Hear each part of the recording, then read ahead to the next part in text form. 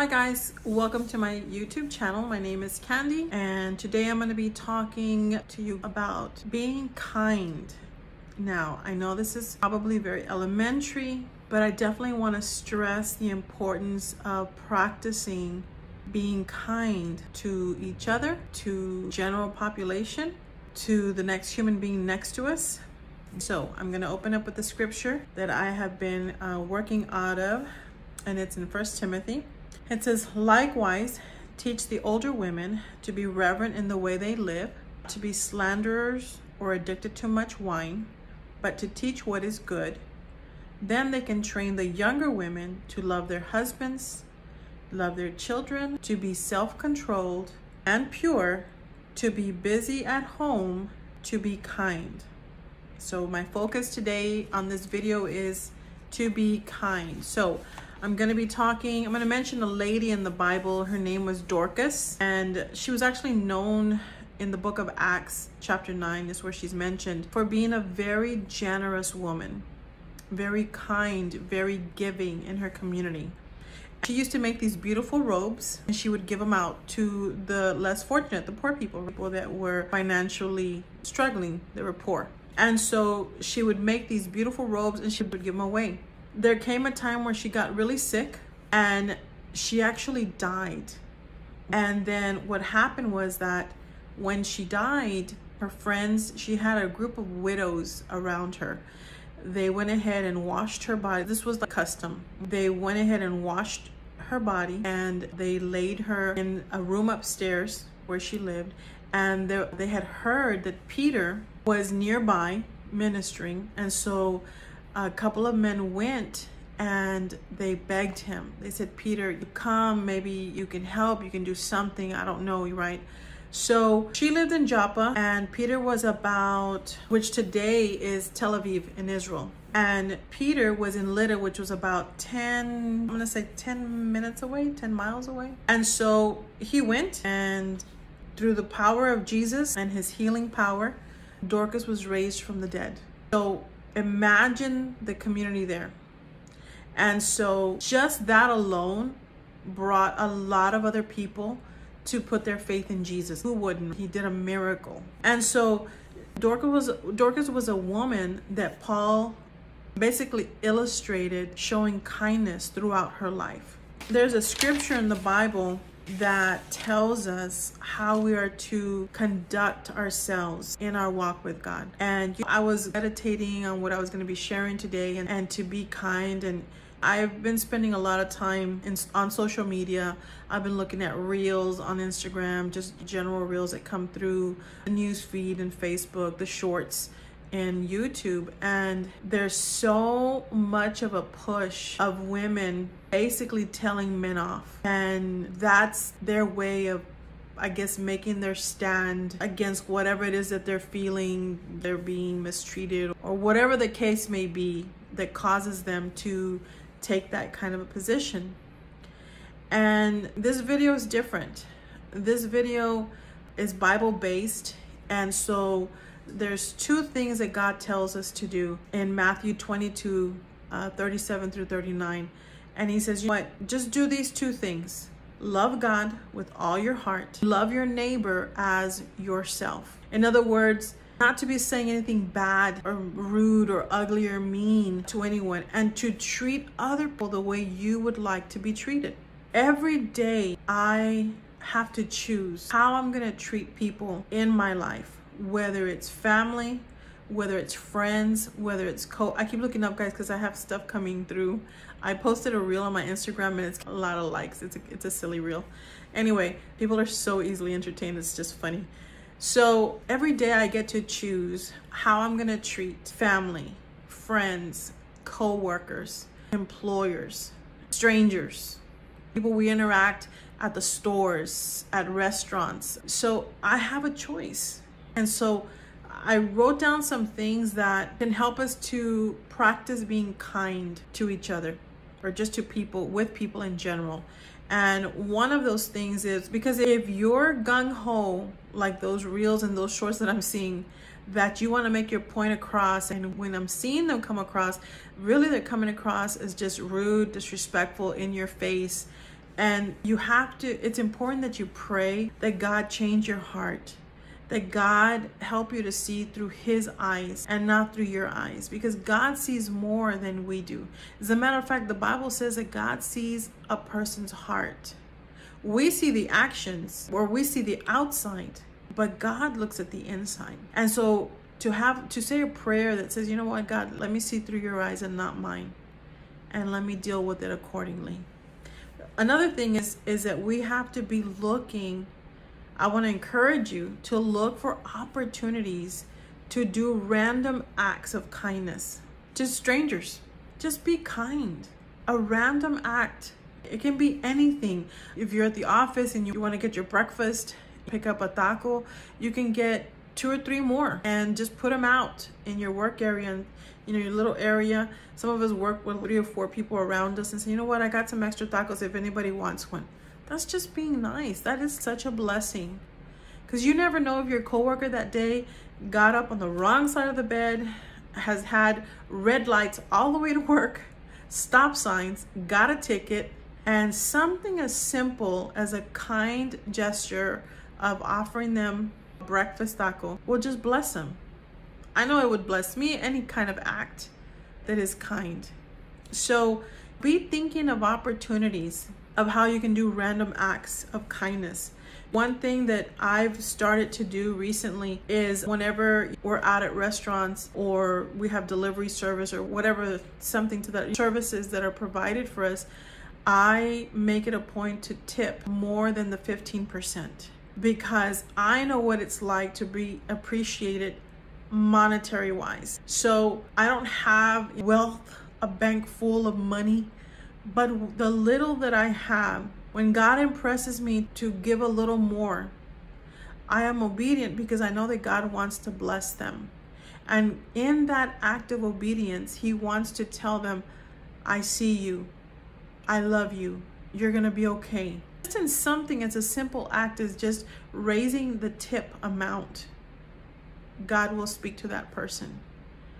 And so that's something that I've started to practice. And I actually get excited because I know that it's going to bless them and I know that it's going to make their day. So, just little tidbits, ideas. Look around for opportunities to be a blessing, to be kind to those around you. Another thing is keeping track of dates. Facebook makes it real easy because they always notify us. I say they, Facebook notifies us when there's a birthday of our family or friends on Facebook. And that's a perfect opportunity to wish them a happy birthday. And do you know that there are people that even with notifications have attitude and they're like, I'm not gonna wish that so and so a birthday. They didn't do this or they didn't do this for me or that happened or how sad to miss out on an opportunity to be kind knowing or not knowing that something as simple as a birthday wish over social media is to put a smile on their face and bless them. So, again, be looking out, look around in your surroundings. If you see somebody who's a loner, if you see somebody that's kind of quiet or set apart, to make it a point to be kind to them naturally, organically. That's why you pray about it and you ask God to show you how to do that. So the opportunities to show kindness are endless.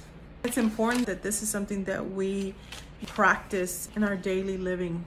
So I'm going to be reading some scriptures because I think it's important to have the word of God to support some of these things that I'm sharing. So there is a biblical perspective. In other words, how God sees things. In the Bible, we're taught to do good. So I'm going to say, we're going to say number one, it says we're to do good to all people, everybody. It says, I'm going to read Galatians 6, 9, and 10. It says, Let us not become weary in doing good, for at the proper time we will reap a harvest. Sorry, guys. If we do not give up. Therefore, as we have opportunity, let us do good to all people especially to those who belong to the family of believers. Sometimes it's easier for us to do good to strangers and then our own family, we're not nice. And so you see in the scripture where it says, and in due time or at the proper time, we're going to reap a harvest if we do not give up. In other words, you're going to get back whatever you put in, regardless of the reaction or the response of the people. If you put in kindness, if you put in goodness, it's an investment in God's kingdom. God says you're going to reap that back. Going to get that back. And you might get it back through your job. You might get that back through your children. Somebody is, your child falls under the grace with the teachers. And it's because of you planting those seeds of kindness in other people. So think about that. Think about the investment of being kind. Second thing is you do good because because you're a Christian, because you're saved, because you're a believer. We represent God. Some people will never see Jesus the way we have experienced God, and it'll only be through your life. And so it's important that we understand that how we conduct ourselves and how we show kindness that it be representative of how God is with us. God loves us so much and he brings out the sun every day. And every day he provides, whether we're good, whether we're bad, whether we're grateful, whether we're ungrateful. That's God's love. It's unconditional. It's not based on how we act. God loves us just because he loves us and he's kind to us because he's a kind and loving God. And this is an example that we are to follow, right? Sometimes you'll see people, well, I'll do for her because she does for me. How about we do for the one that doesn't do for us? Because that would be the characteristic of God. Find somebody that will not be able to pay you back will not be able to give back to you because that is true kindness being exercised. Says, this is in Ephesians chapter 2. It says, For we are God's workmanship, created in Christ Jesus to do good works, which God prepared in advance for us to do. So there are going to be opportunities right in front of your face that God has placed there to see what you're going to do. And so just think about that. Another thing is doing good involves or it includes that what we say, not just what we do. Our words carry a lot of weight. It says, do not let any unwholesome talk come out of your mouths, but only what is helpful, good for building others up, their needs, that it may benefit those who listen. This is a powerful scripture because there's so much of the opposite going around. In today's world, they push you or they encourage you, they support you if you speak your mind without any regard to the other person's feelings. And the Bible, you have to be careful with that because the Bible says to speak the truth, but to do it in love. If what you're about to say is going to tear down that person, then you need to slow down and you need to be careful and measure your words because God will hold us accountable in how we speak to others and how we deal with others because God created them too. God loves them too. And so I'm going to read it again. It says, Do not let unwholesome talk come out of your mouths, but only what is helpful, good for building others up according to their needs that it may benefit those who listen. So God gives us an opportunity every day to build each other up, to build somebody up. Take advantage of it. Ask God to show you, to teach you, and how to encourage and how to show kindness, not just in what we do, but in what we say. The next thing is that you do good work to show kindness when it comes to coworkers, when it comes to your boss, it says Ephesians 6 chapter 6 5 7 and 8 it says slave slaves obey your earthly masters with respect and fear and with sincerity of heart just as you would obey Christ serve wholeheartedly as if you were serving the Lord not men because you know that the Lord will reward everyone for whatever good he does, whether he is slave or free. You know what this is saying? That even when your bosses don't notice the great work that you're doing, that they don't notice the extra mile that you go, this scripture says that God is watching And God is seeing you. And God will reward you according to the good things that you're doing. Promotion doesn't come from man. Sometimes people want to kiss up to the bosses and run errands and give them Starbucks and okay, you go ahead and do that. But someone that is walking with God understands the scripture that promotion comes from God. That's why sometimes you'll see people move up the ladder and you're thinking, how did they get up there? How did they get? Because God is watching out for them and God wants to watch out for you too. And so do good when nobody's watching. Do good because God is watching. Don't cheat the system. Don't, you know, Uh, there's people that go and take extra breaks and leaves the majority of the work to the other coworkers. All of these things, think back and reflect. Am I slacking? Am I giving my best? Am I doing my best in where I'm at now? And if you find yourself short that you're not, that's okay. Fix it. Just say, you know what, God, I'm sorry. Help me to be that when I do things that I understand that I'm doing them unto you. You're my boss. And so the last thing is, and this one's a good one, guys. It says, a Christian should repay evil with good. Look at this. First Thessalonians 5.15, it says, make sure that nobody pays back wrong for wrong, but always try to be kind to each other and to everyone else. The other day I was sharing a video and because as women, we want to justify why we're fighting with somebody or why we're being mean to them. And, and you don't know what they did. The Bible says it right here. Don't pay, two wrongs don't make a right. Two wrongs do not make a right.